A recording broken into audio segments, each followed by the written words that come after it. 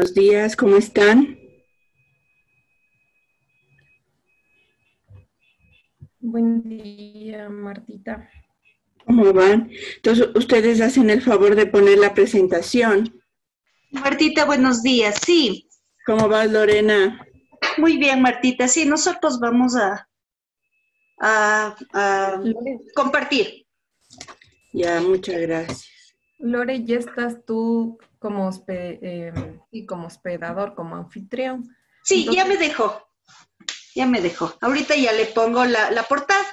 Ya, perfecto. Ah, perfecto. Ya, muy gentil.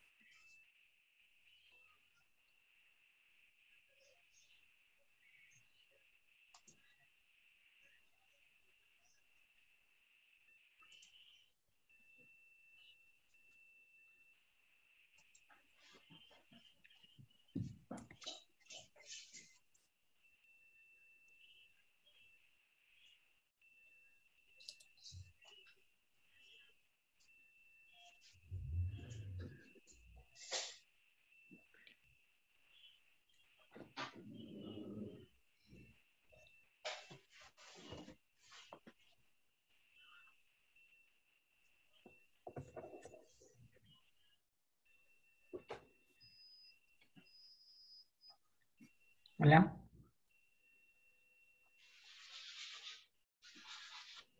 Sí, de que no van a Hola. Sonia, ¿cómo estás? Ujú.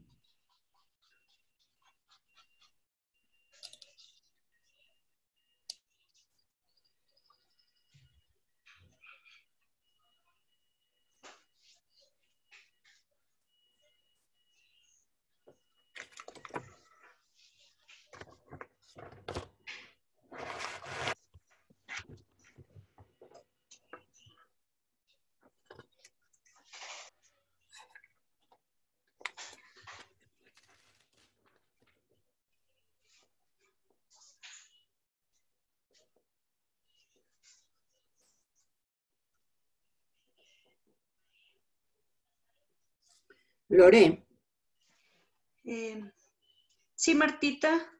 ¿qué número de, de encuentro con los periodistas es? Se- ¿Sexto o séptimo? Eh, séptimo, Martita. Gracias. Ya.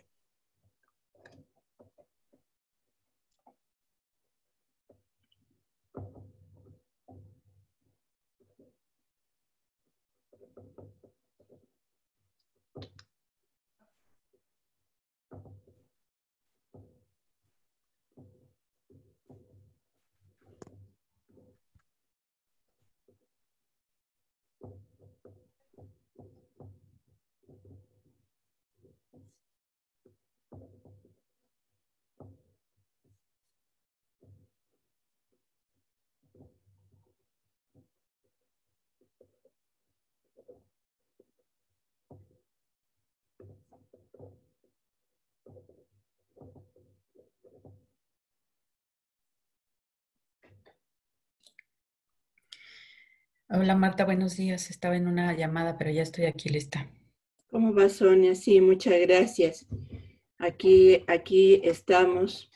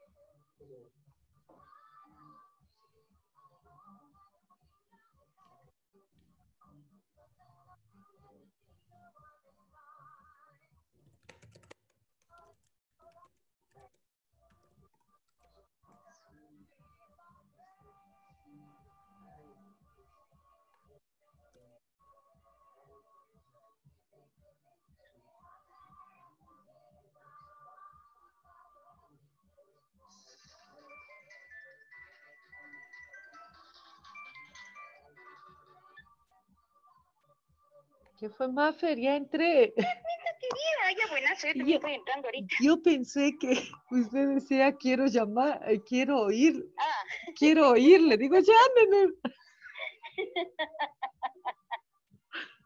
¿qué más, mi permita? ¿Cómo está usted? Eh, bien, bien nomás. Y usted esperando la reunión, que siete, que siete y media, hay, que que no hay, que ocho, sí que hay. sí hay, que no hay.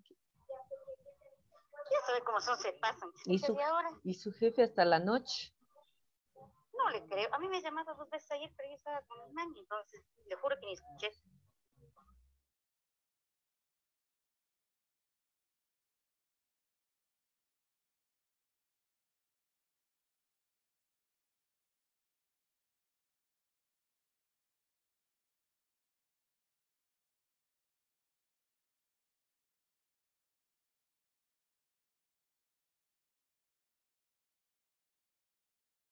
Pública SECON, la Secretaría de Derechos Humanos, con el apoyo de la Organización Panamericana de la Salud.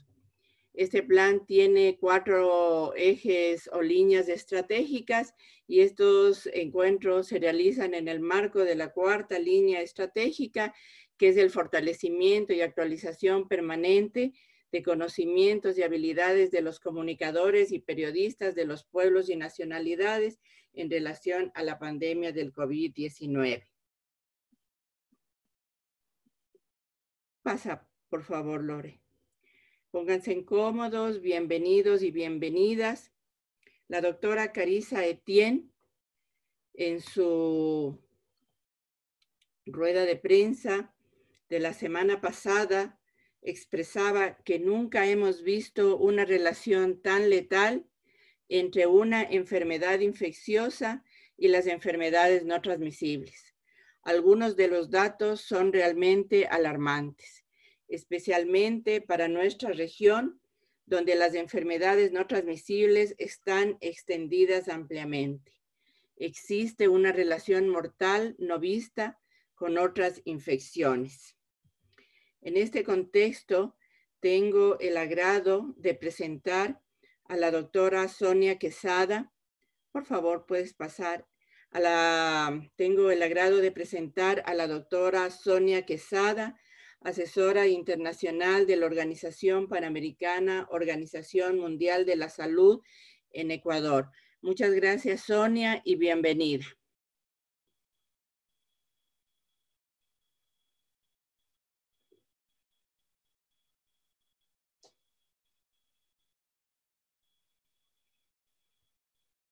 Sonia.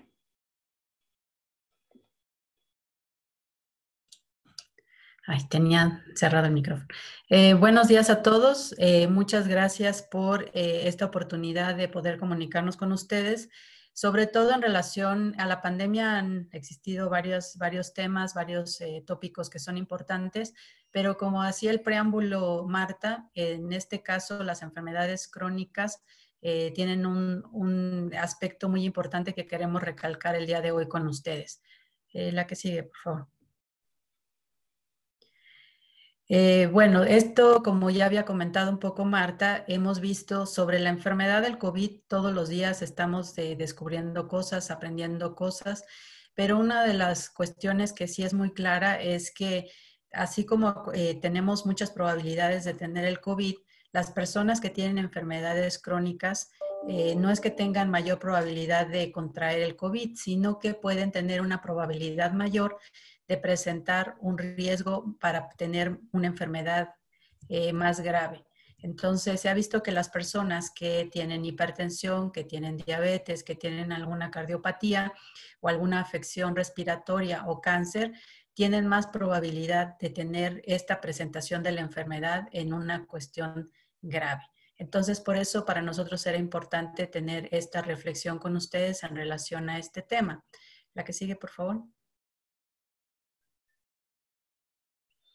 Eh, bueno, aquí solamente unos datos entre los estudios que se han hecho a nivel internacional. Bueno, se ha visto que de las personas que tenían cáncer eh, tuvieron una probabilidad más alta de morir cuando se les daba COVID que el resto de la población. Y bueno, en América Latina la prevalencia de cáncer es bastante alta y por eso hay una probabilidad mayor de que esta, esta enfermedad pueda ser más grave en este tipo de personas.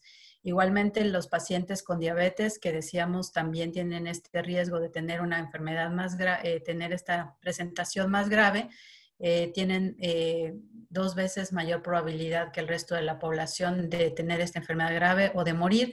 Y bueno, nuestro, nuestro continente, nuestros países tienen una prevalencia muy alta de personas con diabetes. Entonces, por eso es muy importante tener esta, esto en cuenta porque es un riesgo adicional al que todos tenemos de contraer la enfermedad. Esas personas que tienen ese tipo de, padecimientos, pues tienen ese problema eh, más importante. La que sigue, por favor. Una de las cosas que queremos dejar claro aquí, independientemente de que los países han establecido semáforos para ir abriendo el trabajo y las actividades, nos tiene que quedar claro que la batalla no se ha ganado.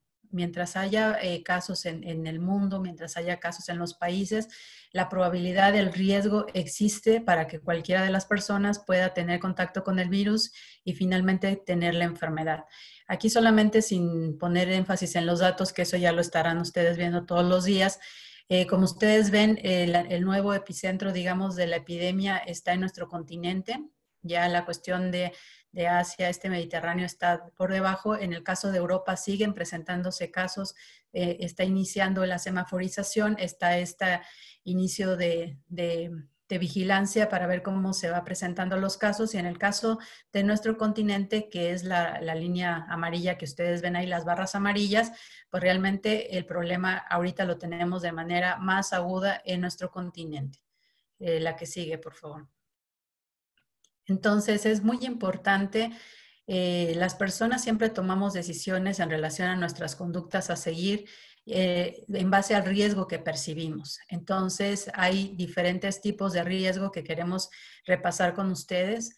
Entonces, hay el riesgo epidemiológico eh, per se, de cómo está evolucionando la pandemia, si está bajo control o no, y esto lo vemos con todas las infografías que envía el Ministerio de Salud en el caso de este país.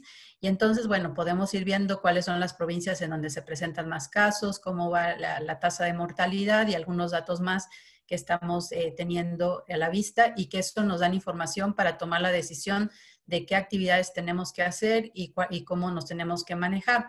Otro de los indicadores en el ámbito de salud que es muy importante es la capacidad que tienen los servicios para atender a los pacientes. Y en este caso quisiera hacer un énfasis importante, porque hasta antes de la pandemia, los pacientes que están utilizando las camas de cuidados intensivos o las camas hospitalarias de manera regular, precisamente son los pacientes con enfermedades crónicas no transmisibles. Eh, todas las urgencias o las, eh, las, unidades de cuidados intensivos siempre han estado en su capacidad para atender a pacientes con accidente vascular cerebral, con em, con infartos o con algún otros problemas que se les presenta de salud. Y ahora que todos los servicios o muchos de los servicios están enfocados a atender la epidemia, la capacidad de atender este tipo de urgencias de los pacientes crónicos se ve disminuida y los pone en mayor riesgo. Y eso es muy importante tomarlo en cuenta porque lo que queremos precisamente es que los pacientes que tienen estas enfermedades crónicas tengan cuidado especial durante todo el transcurso de la pandemia mientras no exista un tratamiento identificado que sea eficaz o exista una vacuna. Entonces, esto es muy importante.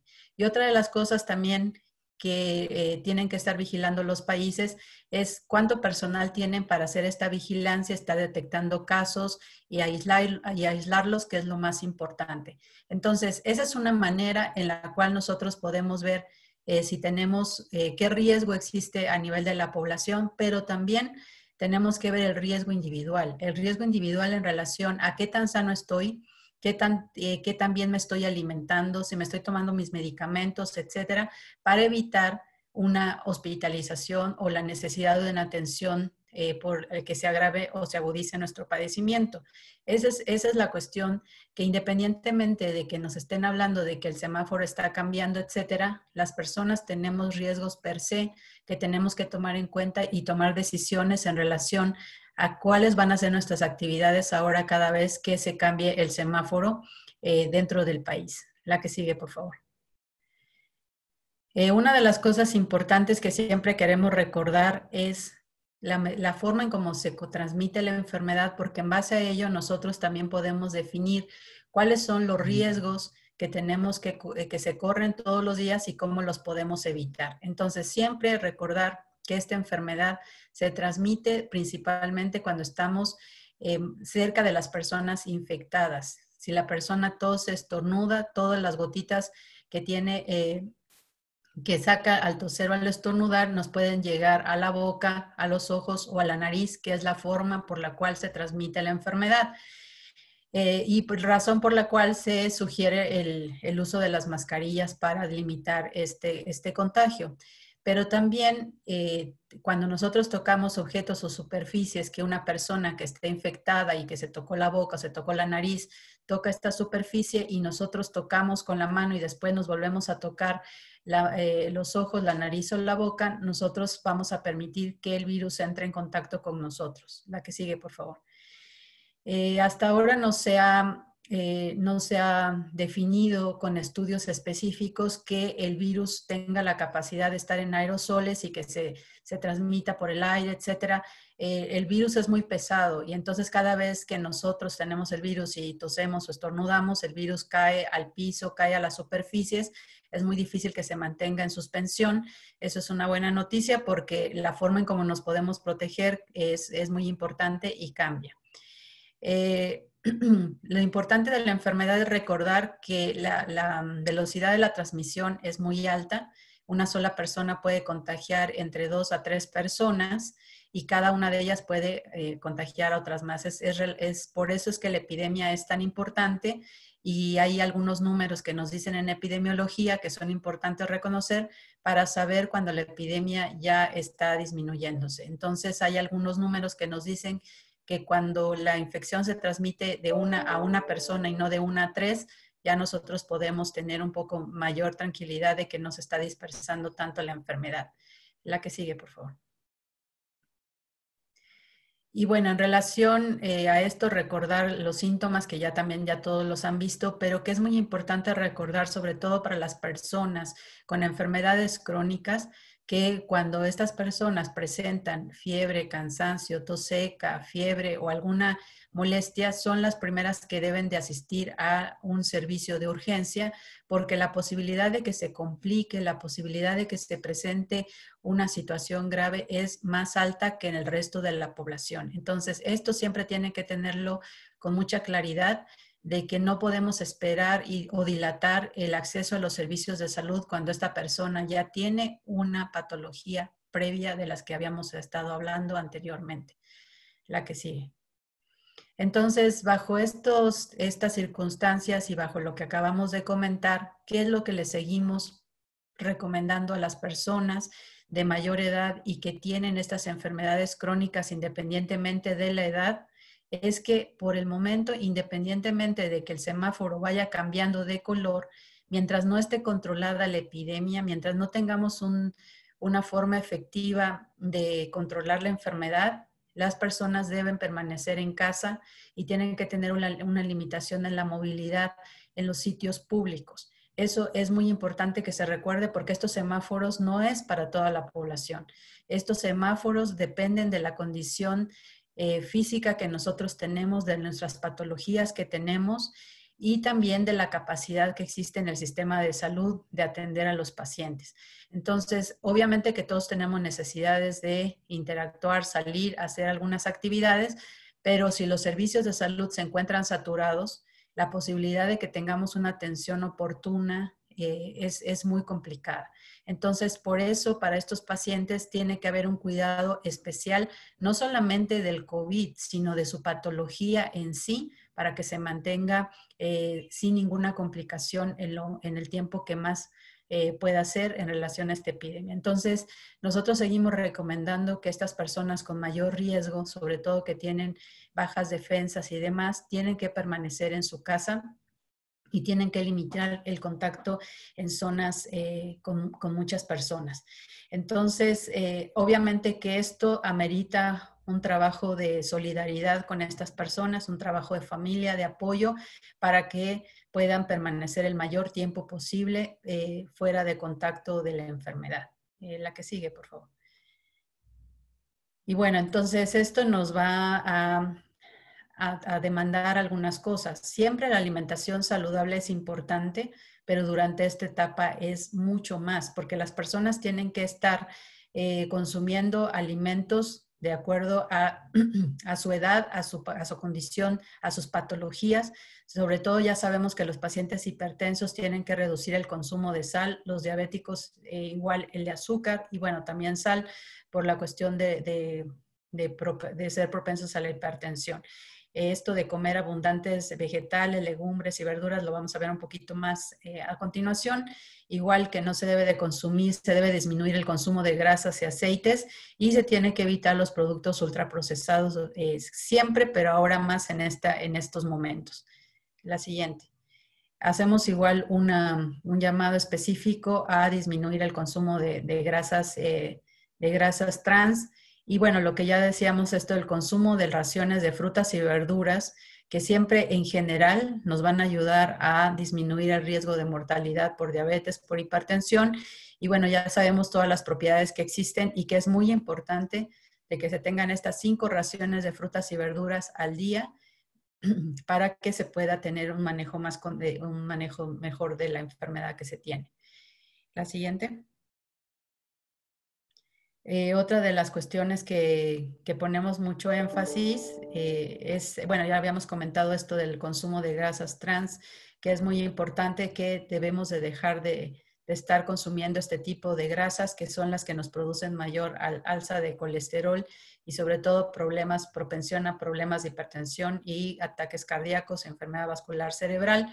Y en este tiempo es muy importante que esto se debe de dejar de consumir para disminuir los riesgos. Eh, la siguiente.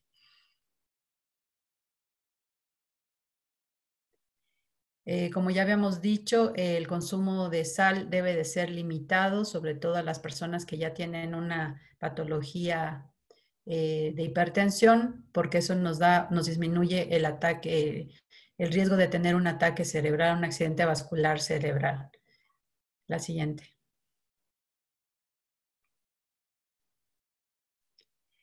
Eh, otra de las cuestiones importantes es que las personas deben de mantenerse activos. Sabemos que, bueno, no, tienen una, no tenemos un espacio muy amplio para hacer actividad física. Ahora que ya se puede salir un poco eh, más tranquilo a la calle, sí se puede hacer algún recorrido alrededor de la casa donde no exista eh, tránsito de, personas, pueden salir un poco con ese cuidado, no estar en, en zonas concurridas y también pueden estar, eh, bajar o subir las, las gradas. A la gente que le gusta tener algún, este, algún momento de música, bailar un poco, saltar la cuerda o hacer alguna otra cosa de acuerdo a la edad. La siguiente, en esta gráfica, en este, en esta gráfica que viene a continuación, lo que vemos es el tiempo recomendado de actividad física de acuerdo a los grupos de edad y el tipo de actividad, obviamente, que tienen que hacer cada uno. Eh, para los adultos mayores se les, se les recomienda que por lo menos 30 minutos se lleven a cabo de actividad física, porque con eso se va a ayudar a que el organismo presente menos complicaciones de algunos, de algunos padecimientos, incluso disminuir el, sobrepeso y la obesidad. Entonces, eso sí es muy importante que se mantenga la actividad física. Eh, ¿La que sigue?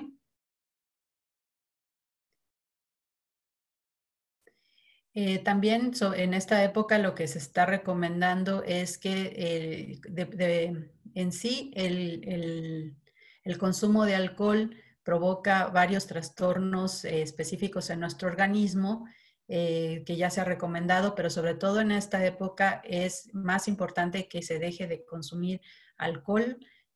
como ustedes saben, también tiene implicaciones sobre la violencia eh, ahorita mucha gente tiene periodos de depresión por lo que estamos pasando y el alcohol en algunos, en algunos estudios se ha demostrado que incrementa el porcentaje de suicidios.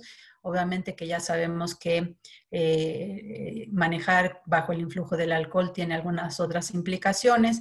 Entonces, eh, para los pacientes específicamente crónicos y en general, se recomienda que no se tenga consumo de alcohol o que éste se lleve al mínimo en esta, en esta, en esta época de, la epidemia. Eh, la siguiente también eh, queremos hablar acerca del consumo de tabaco. Nosotros sabemos siempre que ya todos los trastornos relacionados y todas las enfermedades relacionadas al consumo de tabaco, pero en este caso con la enfermedad del COVID, se ha, visto que los pacientes que han estado, eh, que son fumadores, tienen mayor riesgo de enfermar gravemente porque obviamente sus pulmones no están saludables y también tienen un incremento en el riesgo de transmisión eh, de la enfermedad por el consumo mismo. Esto también incluye no solamente el tabaco en sí, sino todos estos eh, nuevos nuevas formas de, tabaco que se, están, eh, que se están incluyendo sobre todo a los, a los jóvenes. Entonces, en este momento, más que nunca, eh, se debe de evitar el consumo de tabaco. Eh, la que sigue, por favor. Y bueno, esto como les comentaba, lo que acabamos de hablar hasta, hasta este momento tiene mucho que ver con la cuestión individual, ¿no? Entonces es una decisión eh, de qué es lo que se consume, cómo se consume, etcétera. Y esto requiere para las personas mayores y con este tipo de enfermedades un apoyo familiar y comunitario muy alto, ¿no? Porque mientras nosotros eh, les podamos dar la oportunidad de estar aislados el mayor tiempo posible de los posibles contagios, esta persona va a tener mayor oportunidad de no presentar complicaciones y no tener una enfermedad grave o algún problema grave eh, que requiera hospitalización. La siguiente, por favor.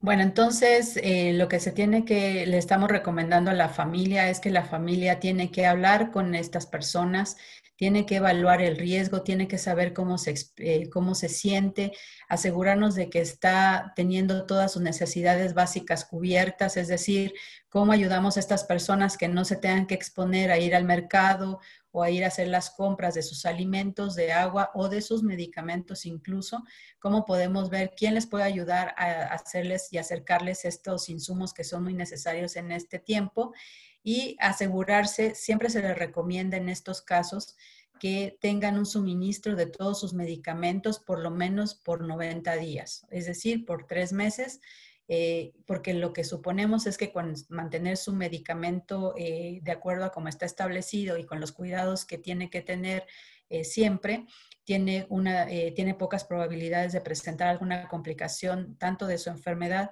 como de eh, contraer el, virus. Entonces, esto es muy importante del soporte familiar, de cómo podemos ayudar a estas personas a que tengan todos estos insumos básicos a la mano. ¿La que sigue? Y bueno, entonces lo que ya habíamos dicho es que tenemos que ayudarles a que tengan la provisión de sus alimentos, también que se mantengan activos, eso es muy importante y también que tengan todo lo, necesario para la limpieza en el hogar, que tengan el jabón para lavarse las manos, el desinfectante, los desinfectantes, eh, que en este caso lo que siempre recomendamos para la limpieza de las superficies es simplemente agua con cloro o el caso que requieran eh, alcohol, ya sea en la presentación líquida o en gel. Eso es muy importante que lo mantengan en la casa siempre. Eh, lo que sigue. Bueno, entonces también hay que verificar que todas las personas que le van a llevar eh, los suministros a las personas a su hogar y, la, misma persona tiene que saber lavarse las manos adecuadamente con jabón, eh, como ya se han estado estableciendo todas las medidas de los 60 segundos mínimamente, y cuando las manos estén no tan visiblemente sucias, utilizar el alcohol eh, para estar desinfectándose, ¿no? Eh, lo que ya hemos dicho es que evitar que estas personas salgan a hacer las compras. Eh, lo que se busca es que tengan el mínimo contacto con eh, las demás personas que pudieran estar, exponerlos al contagio, ¿no? Y también lo que se pide en este momento es seguir limitando las visitas de los hijos, de los nietos, de los sobrinos, sobre todo si tienen algún síntoma respiratorio. sabemos que esto es muy difícil para todos, pero eh, tenemos que tener este distanciamiento todavía con estas personas porque el riesgo sigue vigente en el, país y alrededor de nosotros, ¿no? Entonces es muy importante que se mantenga el distanciamiento el mayor tiempo posible para que estas personas no estén expuestas al virus. ¿La que sigue?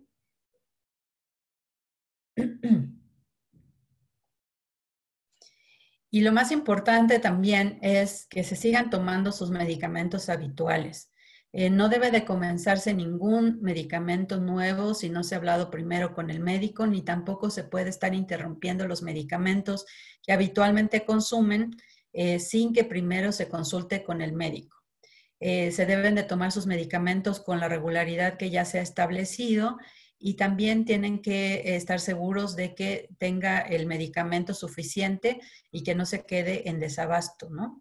Eh, por el momento, ya de acuerdo a los estudios que se han establecido, porque había algunas dudas con los medicamentos que se utilizan para la hipertensión, de que si tenían que ser suspendidos por el COVID, hasta ahora no hay ningún estudio que sustente que ninguno de los medicamentos, sobre todo para hipertensión, eh, tengan interacción con el, con el virus y que tengan que suspenderse. Entonces, hasta ahora, todos los medicamentos que han sido em, eh, recetados por el médico tienen que ser consumidos en el tiempo, forma establecido y cualquier cambio tiene que ser consultado con el médico tratante.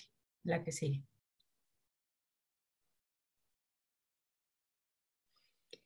Y bueno, la mayoría de nosotros hemos, hemos manifestado estrés o ansiedad porque obviamente que esta situación no estamos acostumbrados a vivirla de esta manera y obviamente las personas mayores que les estamos pidiendo que estén aisladas, pues es más difícil eh, que ellos puedan manejar esta situación.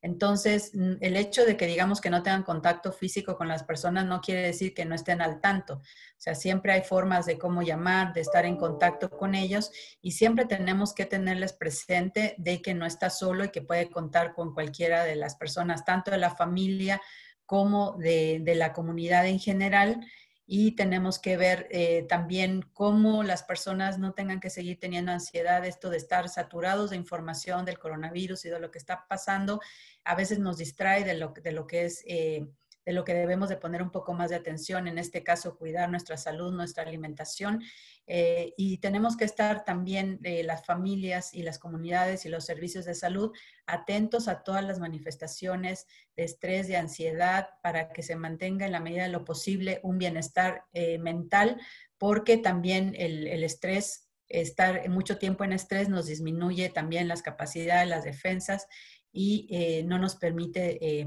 desarrollarnos eh, bien y saludablemente. Entonces, esto es muy importante mantenerlo atento, siempre estar viendo el estado de ánimo de, nuestra, de nuestros familiares que están pasando por estas enfermedades. La que sigue.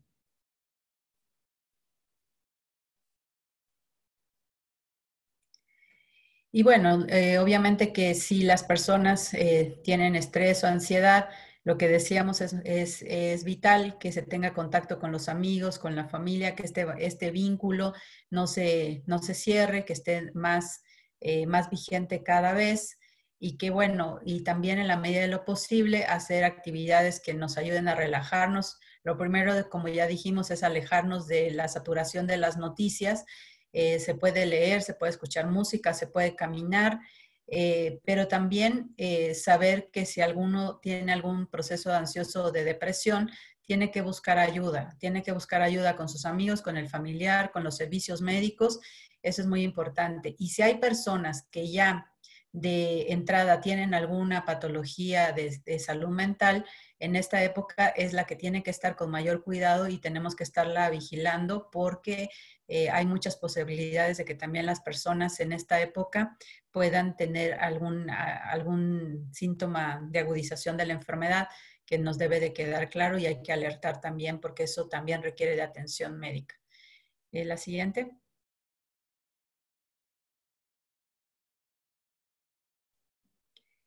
Y bueno, aquí lo que les podemos invitar es que ustedes pueden eh, acudir a nuestras páginas que tenemos tanto de la Organización Mundial de la Salud como de la Organización Panamericana de la Salud, en donde todos estos temas que les acabo de comentar, ustedes pueden eh, verificarlos, pueden ampliar la información.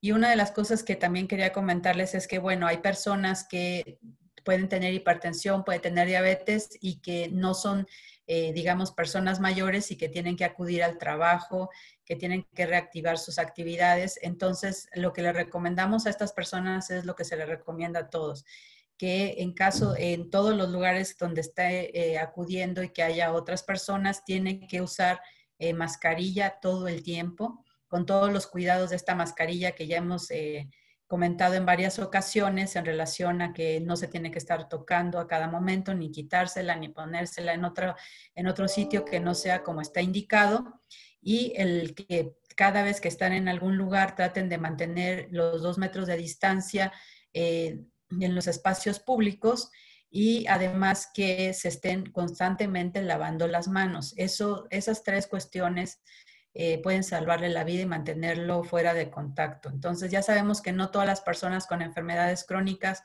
pueden estar eh, siempre en su casa, pero en la medida de lo posible eh, debe de ser de esa manera y de no poder hacerlo porque tiene que trabajar o hacer otra actividad, tener todos estos cuidados especiales, más lo que dijimos de su medicación y la alimentación saludable. Eso creo que es lo que se tiene que mantener vigente en este momento Eh, sabemos que no todos pueden permanecer en su casa, pero los que así puedan hacerlo es lo que vamos a tratar de mantener. Y los pacientes que tienen cáncer, que tienen diálisis, que tienen algunos otros procedimientos, eso tiene que estarse consultando eh, constantemente con los servicios de salud cuáles son los consejos establecidos eh, en relación a cada caso particular. Entonces, estas son las cuestiones que, queríamos comentarles, independientemente del semáforo que se está haciendo a nivel poblacional, tenemos que tener nuestro semáforo personal también en relación a todos los riesgos que ya tenemos en nuestra salud y que eso nos debe de ayudar a tomar decisiones a la hora de que nosotros queramos hacer alguna actividad. Entonces, eso era lo que nosotros queríamos eh, transmitirles el día de hoy, este énfasis a este cuidado de estas personas que tienen mayor vulnerabilidad eh, y mayor propensión a tener alguna manifestación grave de esta enfermedad. Entonces, quedamos a, la orden de, si existe alguna duda o alguna consulta. Muchas gracias. Muchas gracias, eh, Sonia. Abrimos el espacio para observaciones y preguntas. Pueden ustedes escribir en el chat o pedir la palabra escribiendo en el chat. Eh, inicialmente vamos a, vamos a comenzar con algunas preguntas que ya están en el chat. Eh, Sonia, ¿cómo sabemos en qué riesgo estamos? ¿Cómo nos damos cuenta si la epidemia está bajo control? Esto me imagino en el, en el sentido de una de las primeras diapositivas, ¿no? De que nos hablaba de, del riesgo en que estamos. Eh, sí, bueno, lo que yo les había comentado es que epidemiológicamente existen estos, estos tres parámetros que les había comentado, que es lo que monitorea y es un poco lo que está dando el color a los semáforos. En mientras se sigan presentando casos, eh, digamos que la transmisión está vigente. Hay un, hay un indicador que es a veces difícil de leer, que le llaman el RE, y ese, ese indicador nos dice eh, que si está en uno, ya estamos eh, controlándose la epidemia, es decir, que una persona infecta una. En este momento estamos, una persona infecta de a dos a tres personas. Entonces, cuando esto se vaya disminuyendo, ese es uno de los indicadores más claros de que esto ya se va controlando. Entonces, esos son los indicadores epidemiológicos y el que recomendamos que esté más vigilado para las personas con padecimientos crónicos es la ocupación hospitalaria. Mientras los hospitales sigan atendiendo pacientes por COVID, van a estar limitados para atender otras patologías propias de estas enfermedades crónicas. Entonces, mientras eso siga saturado, el riesgo es muy alto porque los servicios de salud eh, no, van a estar con toda su capacidad de, brindar la atención. Entonces, esos creo que son los indicadores más importantes para darles eh, seguimiento. Y Sonia, esta relación también, pedimos por favor cerrar sus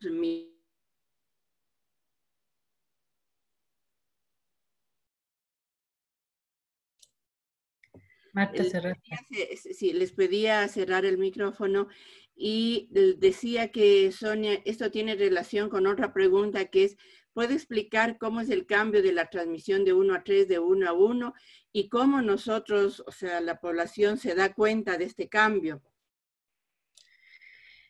Bueno, la población es muy complicado que se dé cuenta en lo cotidiano. Esos son análisis estadísticos que vamos haciendo en relación al número de pacientes que se van eh, incrementando. Ustedes ven las, esto que le llaman la curva, que en realidad ya no ha sido una curva, porque al final vemos que aumentan los casos, nosotros asumíamos que había un pico máximo y de ahí empezaban a bajar.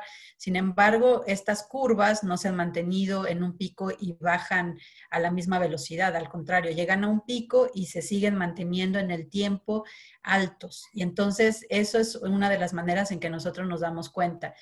Eh, mientras más personas se infecten, obviamente que hay menos eh, la, transmisión baja porque ya una persona que ya, ya, tuvo la enfermedad se enfrenta con otra que tiene la enfermedad, ya no se, ya no se transmite pero cuando la persona que está enferma está en contacto con alguien que no estaba enfermo, eh, ahí, bueno, se da el contagio.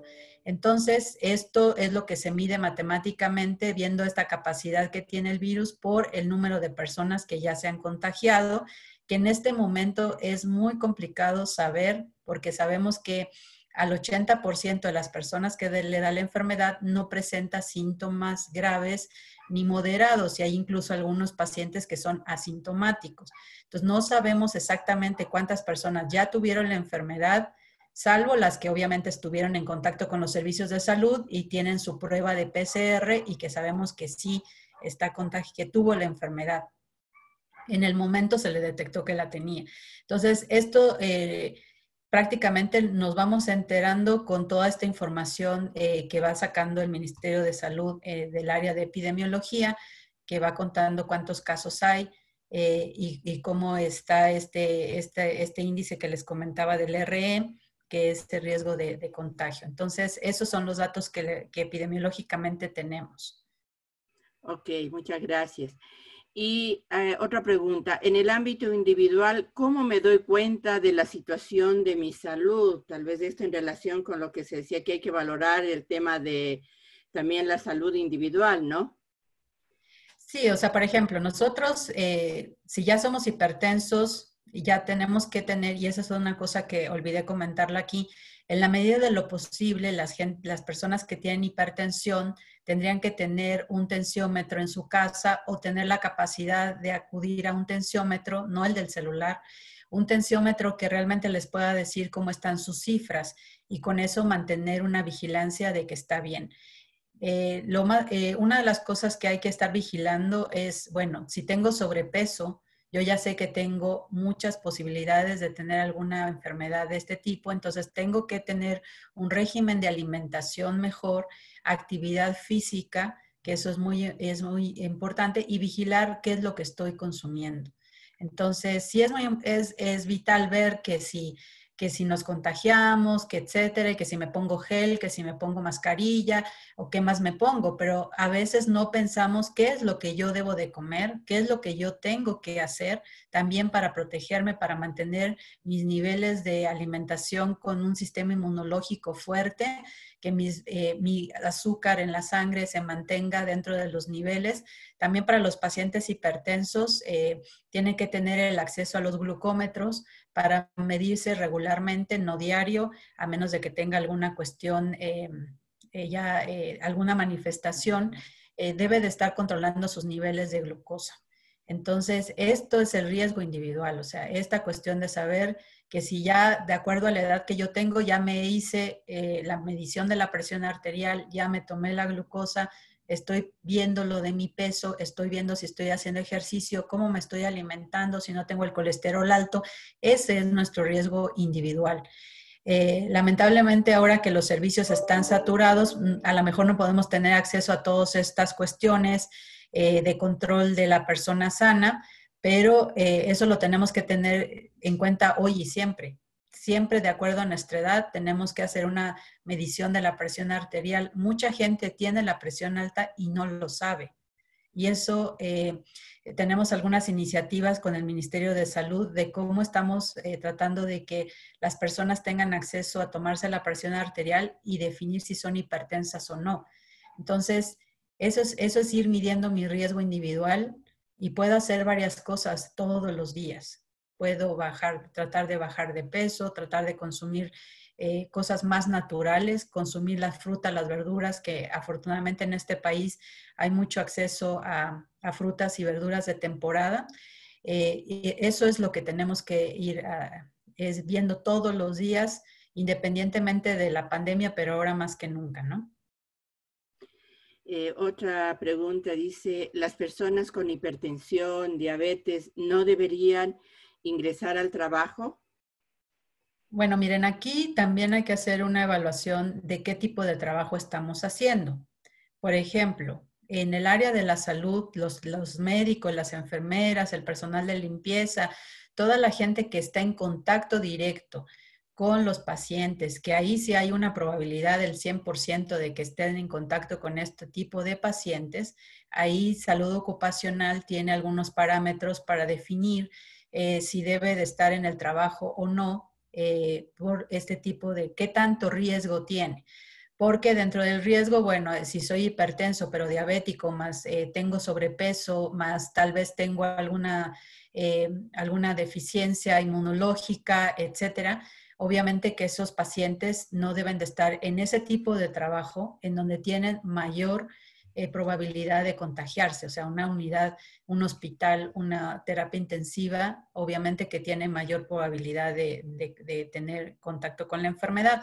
Y eso es una cuestión que cada nivel de trabajo tiene que hacer su evaluación de riesgo.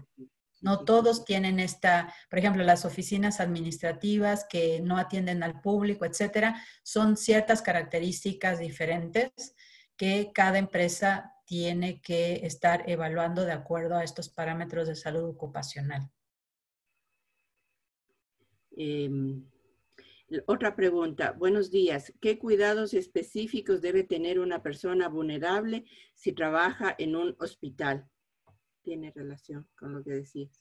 Sí, o sea, lo que decimos es que en, eh, salud ocupacional define quiénes son las personas que tienen riesgo y en algunos casos les han, les han dado las opciones de teletrabajo o de cambiarlos a otra área en donde no eh, estén en contacto directo con los pacientes. Eh, y lo que decíamos, bueno, ya en un hospital ya todas sus medidas de precaución están bien establecidas con estos equipos de protección personal.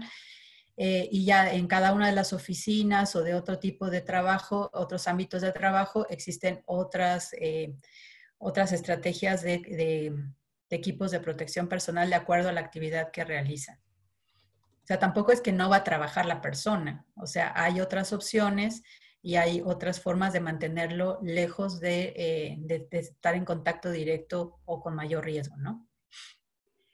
Buenos días. Muchas de estas personas con enfermedades crónicas requieren control médico y en estos momentos no tienen acceso a esa atención. ¿Es suficiente el mantener bajo control sus enfermedades?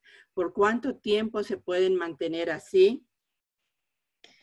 Sí, miren, eh, dependiendo de la patología, nosotros hemos visto, eh, por ejemplo, un paciente diabético que lleva su medicación como está establecido, que tiene una buena alimentación y que eh, se está manejando adecuadamente, no requiere ir mensualmente a la consulta, igual que los pacientes hipertensos, dependiendo de, de cómo ya está, eh, hay periodos de adaptación de medicamentos que sí el paciente tiene que estar bajo vigilancia médica hasta que se defina tipo de medicamento, dosis, etcétera.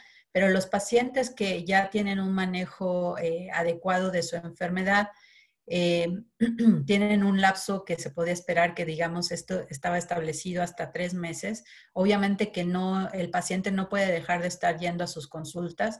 Lamentablemente la epidemia está afectando a este país y a todos en el mundo. Los pacientes más afectados eh, con, esta con esta pandemia han sido los pacientes crónicos.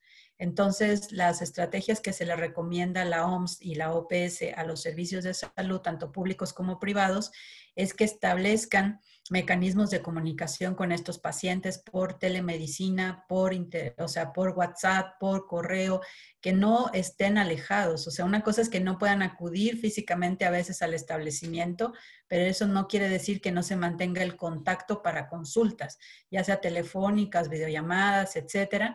Y en algunos casos, algunos establecimientos han de eh, han incluido lugares para atender pacientes con COVID y, pacientes que probablemente no lo tengan y mantener esta, estos exámenes médicos y seguimiento. Entonces, eh, lo que sí se recomienda es que todos los servicios de salud, tanto públicos como privados, tengan esa manera de estar en contacto.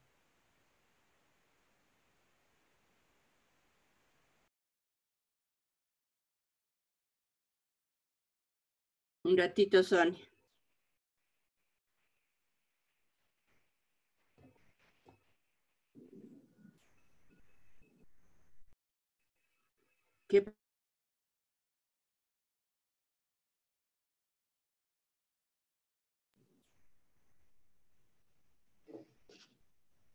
Por favor, Sonia, si puedes quitar el mute de tu... Gracias.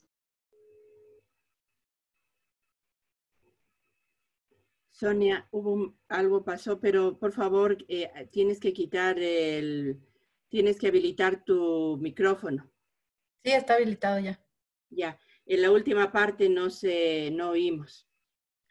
Ah, lo que les decía es que la recomendación nuestra a los servicios de salud, tanto públicos como privados, es que mantengan líneas de comunicación eh, constante con ese tipo de pacientes, tanto por teléfono, eh, por internet, por cualquier vía.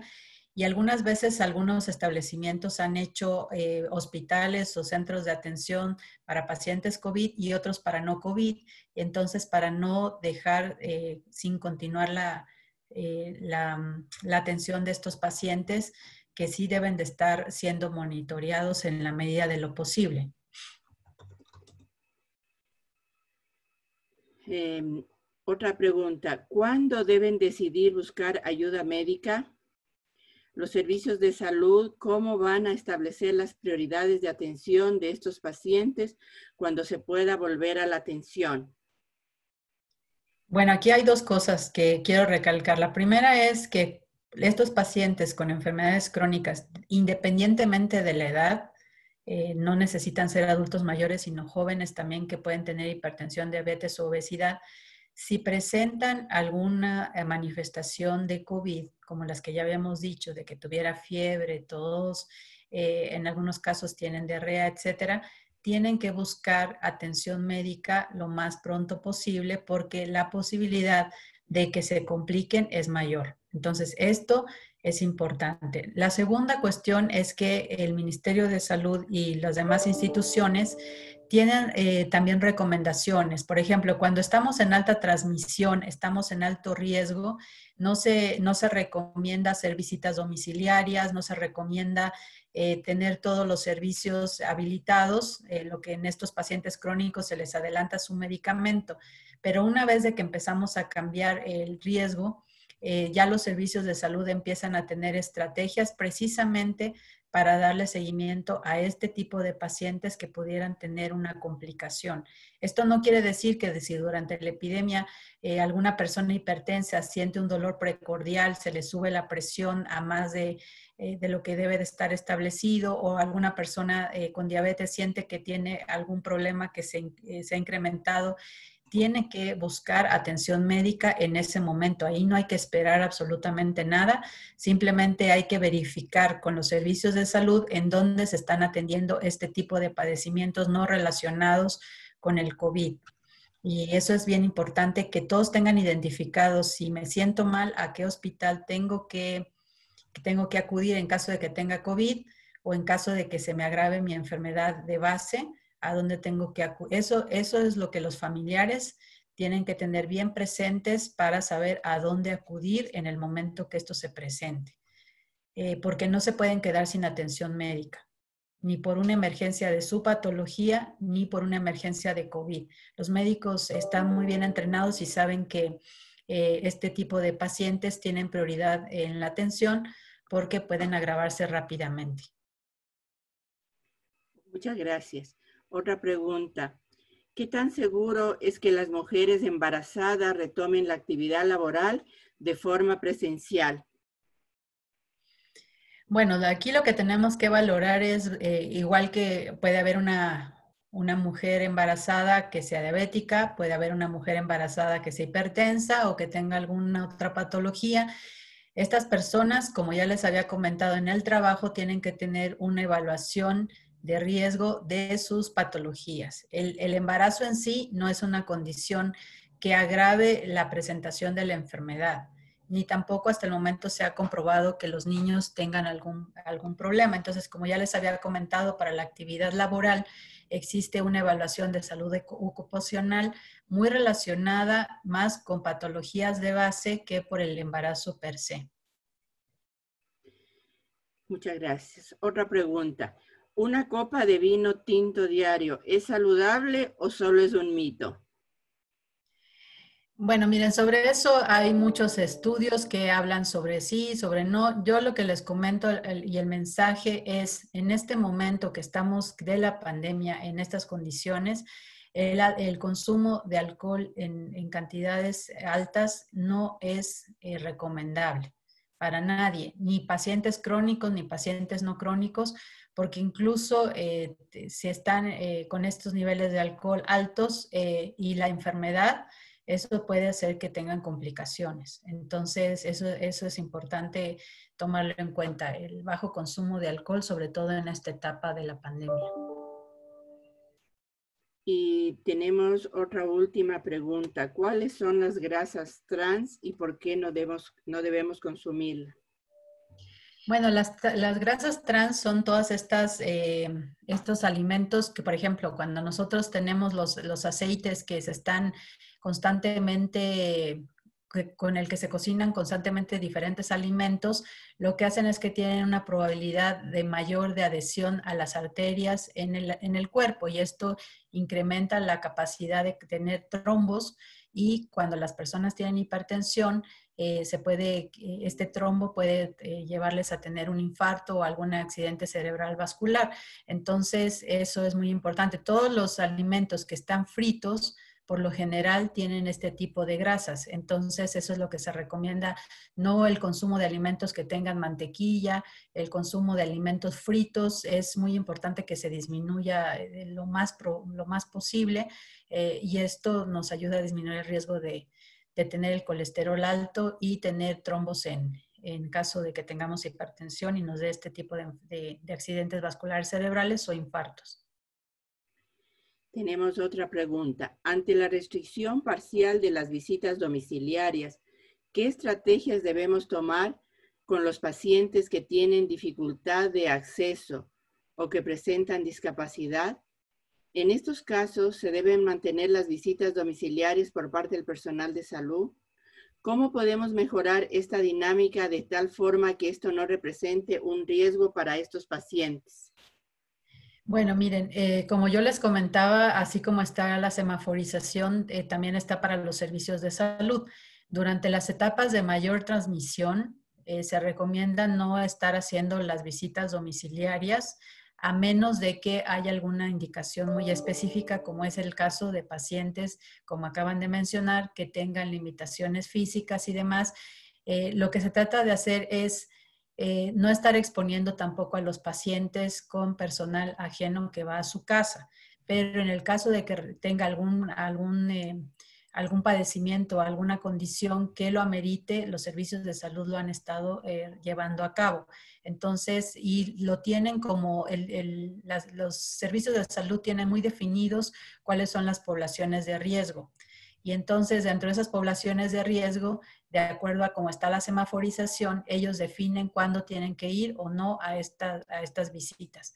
Ahora, las personas pueden estar con sus familiares o sus cuidadores y sus cuidadores tienen que tener una serie de entrenamiento de cómo si salen a la calle y regresan a la, a la casa. Y bueno, esto también se me olvidó comentarles. Ahorita que todo está en amarillo, eh, la gente se siente más libre, sale, se relaja de las condiciones de seguridad y cuando llega a su casa y ahora, eh, por ejemplo, que no estaba trabajando y ahora va a ir a trabajar y en su casa hay una persona con mucha vulnerabilidad, cada vez que regrese de la calle tiene que tener todas estas medidas de lavarse las manos, de no estar en contacto cercano, estar siempre manteniendo la distancia aún dentro del hogar porque esto, les, esto puede tener mayor problema.